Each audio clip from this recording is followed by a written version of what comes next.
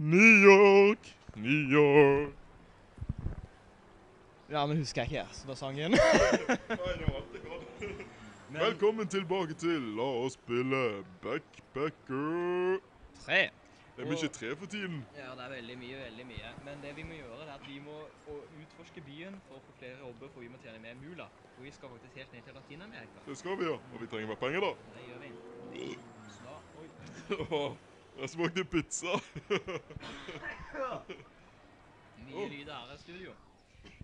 Midt blant de enorme skyskraperne ligger Central Park. Parken er 387 hektar stor og besøkes daglig av mosjonister, folk på piknik og andre som trenger en pause fra storbylivet. Parken har også en liten zoo. Hvilken av disse filmene utspilles for det meste i New York? King? Nei, ikke for det meste. Wall Street, King Kong Ja, men det er ikke for det meste. Det Å, bare... nå må du Die Hard, det er vel i uh... Det er... Nei, det er ikke New York. Nei, det er vel California, tror jeg. Ja, Hanna og hennes søster har jeg ikke hørt om. Det syvende seil. jeg tror det er bare tre. Det var han og hennes søstre. Åh. Ingen nye jobber ennå, men da kan vi dra til uh, Statue of Liberty. Ved havnen i New York støtter vi på den 93 meter høye Frihetsgudinnen. Hun ble forært av franskmennene og innviet i 1886. Statuen fungerer i dag som fyr. Den er framfor alt fram, øh, Beklager. Øh. Men framfor alt et frihetssymbol. Beklager halsen. Sett sammen følgende idrettslag med riktig idrett. Uh, Mets, det vet jeg er amerikansk baseball. Det stemmer. Giants er fotball. Knicks er basketball. eh, og Rangers Rangers, er er ishockey. ishockey. Nix er basket. Og yep. da er vel Kosmos fotball, da. Vi er gode. Vi er alt riktig. Og eh, ingen nye jobber ennå. Da får vi gå. Den 11. september 2001 kollapset World Trade Center etter et terrorangrep. Plassen der ble de to 110 etasjes eh, bygningene sto, og tusenvis av mennesker døde. Ground Zero. Fikk navn Ground Zero. Det er ikke noe å le av det, Bjarne. Hvilken av disse bydelene er, er Hvilken av disse er bydeler i New York? Brooklyn, New Jersey, Jersey, Bro og Queens. Nei! Nei! New Jersey er selvfølgelig ikke en bydel. Åh! Nei, de hater New Jersey. Ja. New York har bydeler som Chinatown og Little Italy. I Chinatown finnes det hundrevis av restauranter og kuriosabutikker av den ulovlige innvandringen. Ja, det vanskelig å si hvor mange som bor i bydelen. Empire State Building sto ferdig i 1931 og var, ver var lenge verdens høyeste bygning. Hvor mange trappetrinn må man gå fra bakkenivå til toppen av bygningen? Og det er mange. Eh, jeg lurer på om det var 1860 eller to, eh, 2420. Eh, jeg er litt usikker på det, Bjarne. Men det er jo ganske sånn fun fact da, at det er flere personer som pleier å reise opp dit. da. Så det er jo faktisk utrolig mange trapper der. Så tror du det er 2000 eller 1000 trapper? Jeg tror det er 1800 eller noe. Det var riktig. Det var veldig riktig. Der fikk vi ny jobb i Queens. Og vi kan bli produsentassistent. Eh, I hvilket år fant eh, Thomas Edison det første apparatet som kunne lage bevegelige bilder? Og det er jo selvfølgelig på Å ja, det er tiår, ja. Og da jeg vet ikke om det er 1870, 1880 eller 1890, men jeg tror det er en av de. 1880. de 1880 nummeropplysningen? Ja, jeg tenkte jeg skulle ringe de, så kanskje det er logisk. Det var 1890. Ja. Apparatet ble kalt eh, kinetoskop. Hvorfor ble disse gigantiske bokstavene montert i fjellsiden utenfor Hollywood? Eh, Jeg tror de skulle ses fra luften. Hæ? Nei, de ville selge tomter i området. Åh, Hvilken av disse norske filmene har blitt nominert til en Oscar?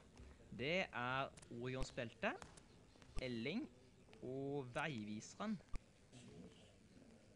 Ja, det, det er de tre. Jeg er ganske sikker på at Spa ikke er en av de. Nei.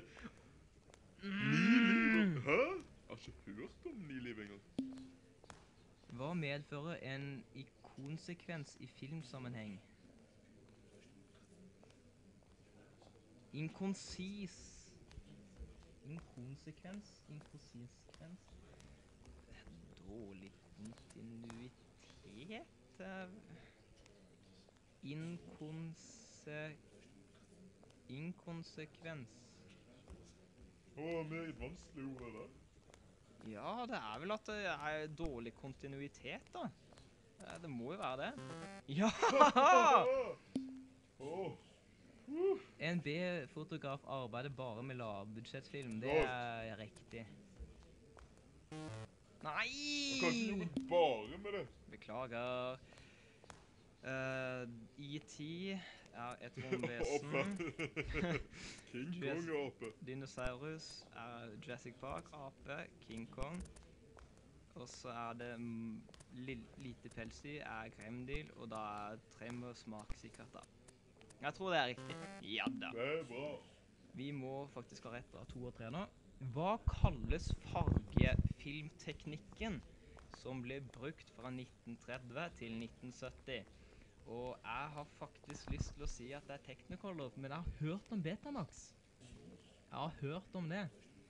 Uh, Eastman Color tror jeg det ikke er, og Colorama det hørtes veldig norskt ut. Uh, Technicolor jeg tror det er Technicolor, ikke Betamax. Ja da! De tre grunnfargemiljøer i seg for hver sin filmstripe. Oi da. Klikk rett Marilyn Monroe.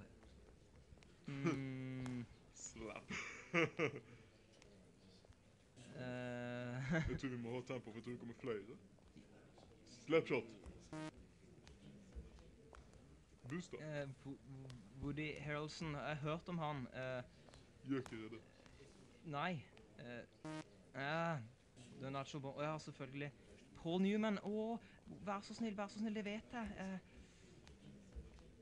nei! Å, vi har tid, ja. Kom igjen. Johnny Depp og og og og.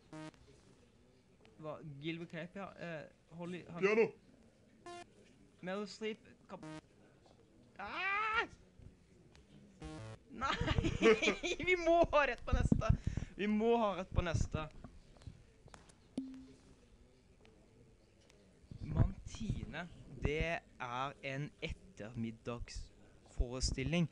Det er jeg Matiné Ja, jeg er gammel Er det middag.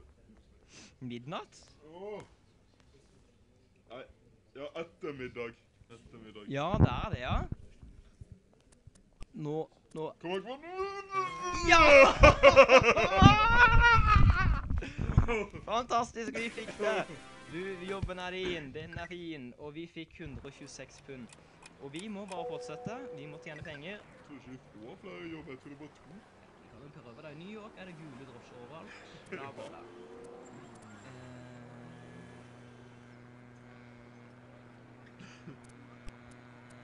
Ja da! uh, nei, vi får prøve å ha litt mer meningsfulle samtaler. Du skal få lov til å holde mikrofonen, du. Ja, så heldig jeg er da. Så, Nei, jeg må hoste jeg. Greenwich Village, The Village, var en svært populær bydel i hippietiden. Her ligger det mange musikklubber og stjerner som Bob Dylan og Jimmy Henriks. Åh, eh, hvor i verden snakker man med denne dialekten? To travel is a good way to know about other people. So here is how it sounds where I come from. Do you know which language I speak? Det hørtes nesten litt sånn australsk ut. Ikke Texas. Det er ikke Texas, og det er ikke Nigeria, det er ikke India, det er Det var riktig, det. Eh, Manhattan, Empire State Building var lenge verdens høyeste bygning, 449 meter. Skyskraperen har blitt et av New Yorks mest berømte landemerker. Den er også godt kjent fra filmen i 1933. Plasser følgende kvinnelige kul kultperson som forbindes med New York i tidsrekkefølge. Jennifer Lopez til sist. Ført først, Jennifer Lopez.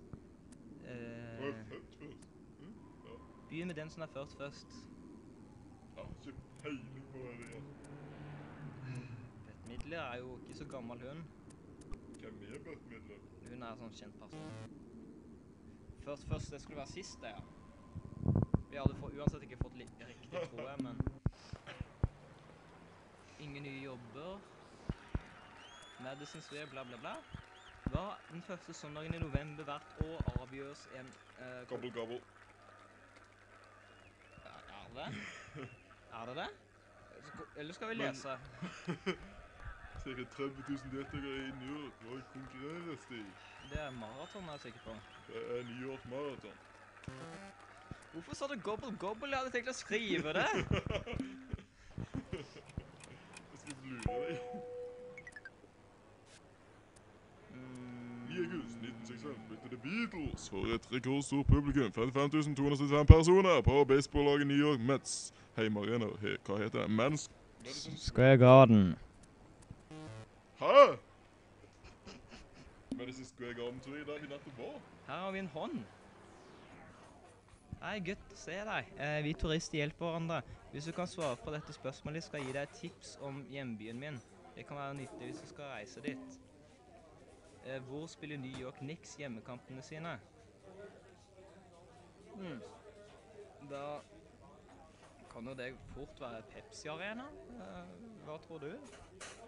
Nei, øh, øh, Ja, jeg tror det er Madison Square Garden, ja. Det er riktig. det er riktig. Ja, fordi det er jo ganske åpenbart egentlig Pepsi Arena tror jeg er noe annet. Pepsi Cola. Så vi kan bare få to jobber, ja. Da er det bare å reise videre, da. Og da er det best å ta tog, regner jeg med, for da Nei. Buss, så kommer vi til Florida. Båt, så kommer vi faktisk Da kommer vi langt ned. Rio de Janeiro. Da, det koster mye, men da reiser vi dit. Vi kommer veldig langt. Oi, det tok 195 timer!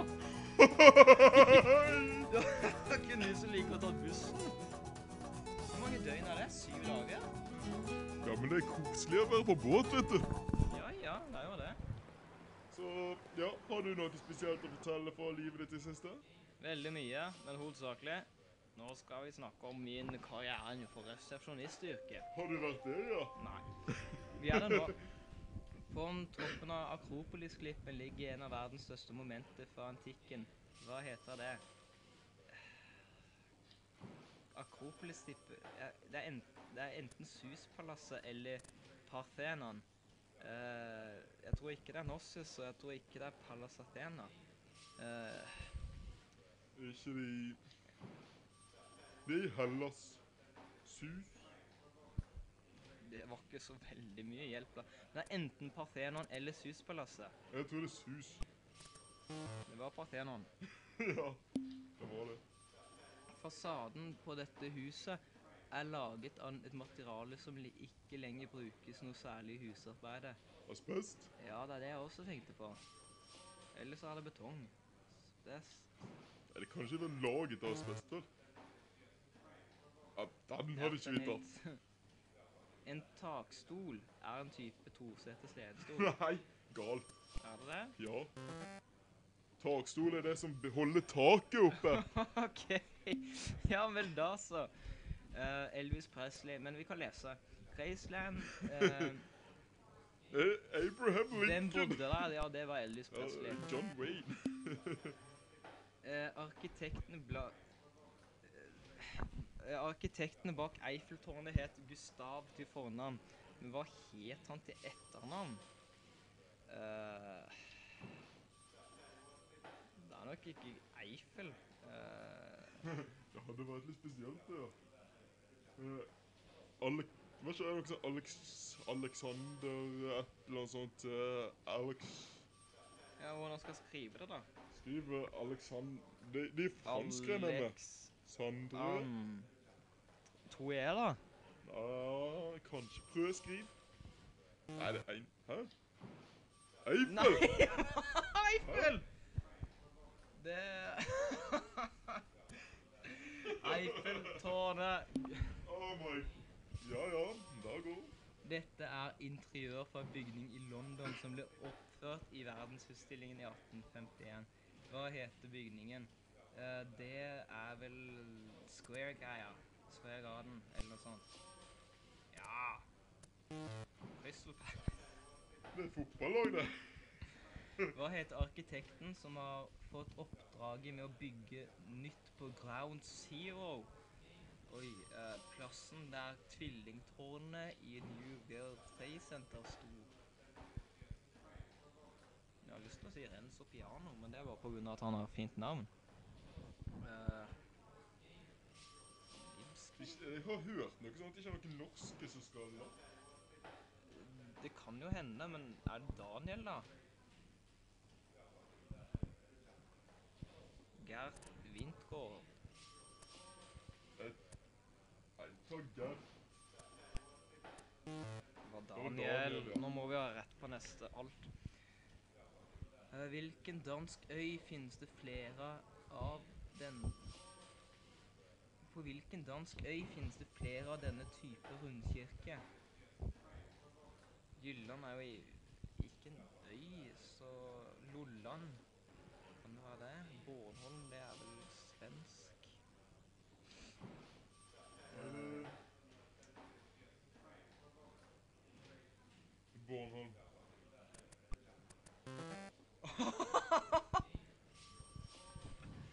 Fantastisk. Det, der gjetta du veldig bra, Bjarne. Hva kalles klokketårnet på Nordegrav på Parlamenthuset i London? Den? Ikke det? Parlamenthuset i London. Klokketårn. Hmm. Mm. Vi må ha rett. Det er faktisk ganske viktig, det. Og det Jeg tror ikke det Lady Di, for det var jo hun der prinsessen som døde i den der tunnelulykka. Sånn alle sammen syns at uh, var litt sånn mistenksom, for de tror jo faktisk at det er han uh, prinsen som står bak det, fordi de mener at uh, de, mener, de, mener, de tror at han trodde at hun var utro, blant annet. Og så var det noe at, at at uh, hun begynte å bli så populær at de trodde at hun skulle ta av Ja, men det var veldig mye rart der, da. Og Tiny Tim, det er jo Det er jo en sånn uh, figur fra Disney, da. Så uh, Klokketårn, Parlamenthuset.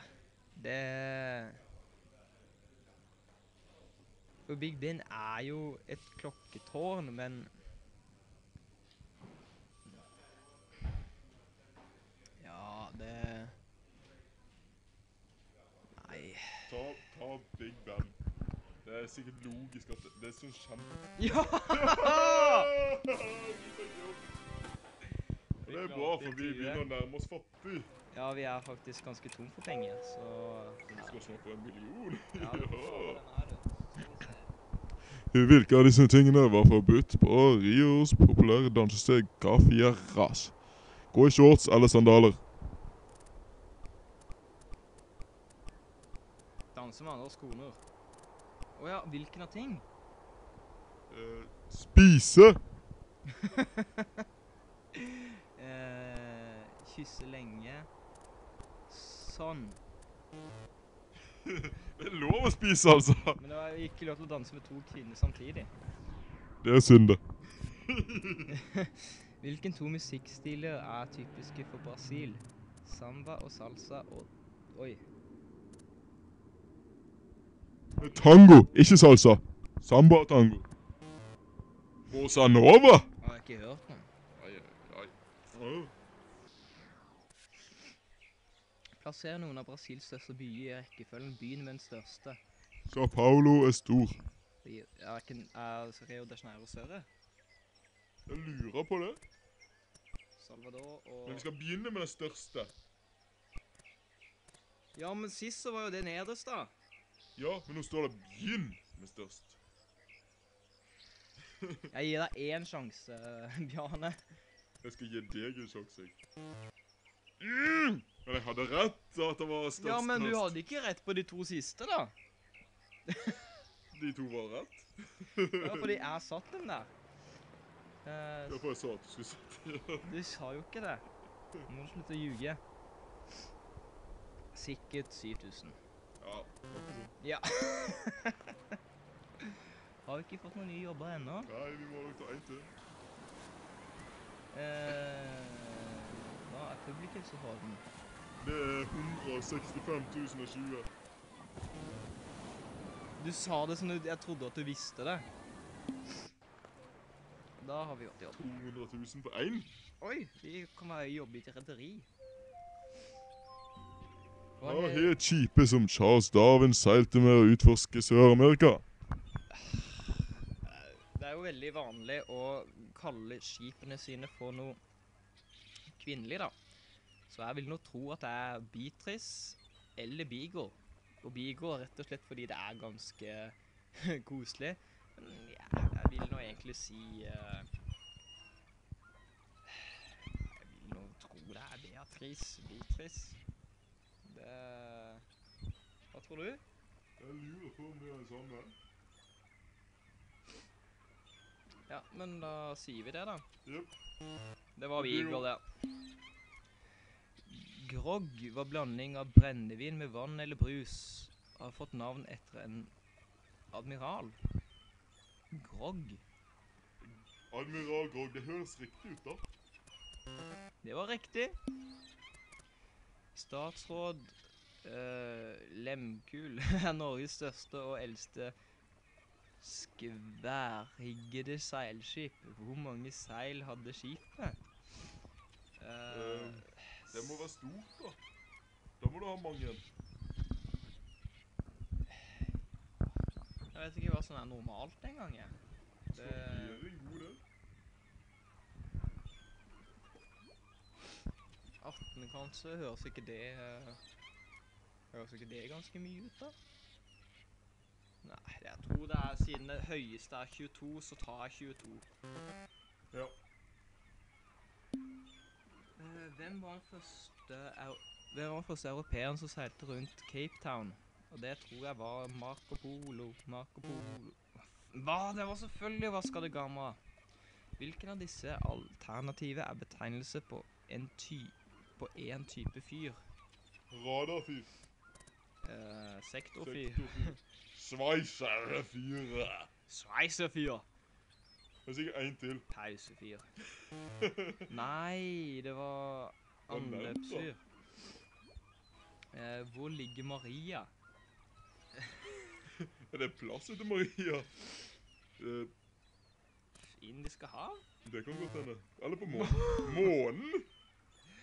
Om bord på fatet ble det tidligere brukt glass som tidsenhet på en måte å dele i arbeidsøkene på. Hvor langt er et glass? Eh, vent litt. Eh, åtte. Åtte minutter? Eh, minutter. Hvorfor ble det tidligere brukt glass som tidsenhet til å dele inn Det er åtte timer. Det kan det ikke være. Det er 100 minutter som er maks. Hmm. Det var litt spesielt. Litt Jeg kan, jeg kan jo litt uh, Jeg har jo lest som, som dere tidligere har hørt uh, at jeg skal inn i militæret.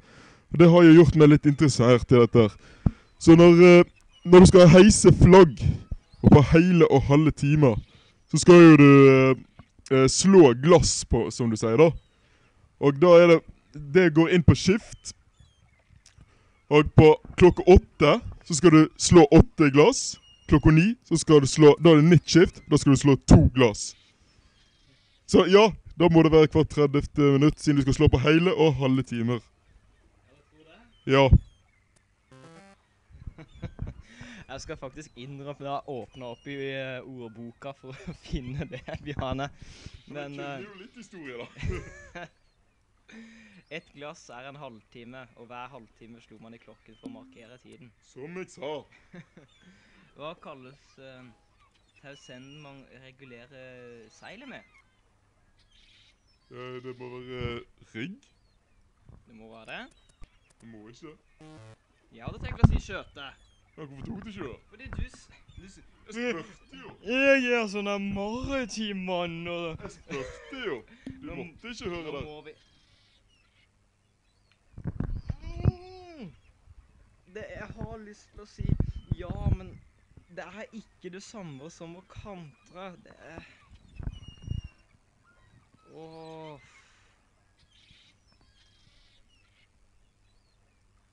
Jeg vil ikke si at det er det samme som å kantre. Du må ha rett på den her. For kanter er faktisk eh, er faktisk utrolig alvorlig og Sis! Nei, det er galt. det er det. Jeg er 99 sikker. Å kantre er å velte, men å seise er å binde fast eller snurre sammen et rev. Det er jo faktisk det. Seis fast. Å, det er jo sånn Å! Velkommen, du er klar til å jobbe for oss. Og med litt ekstra penger, nå har vi 762. Da er det egentlig bare til å utforske litt mer og gjøre oss klar til reise. Men eh, kanskje vi skal òg si habibo. Shubruda. Ha det bra. Snakkes!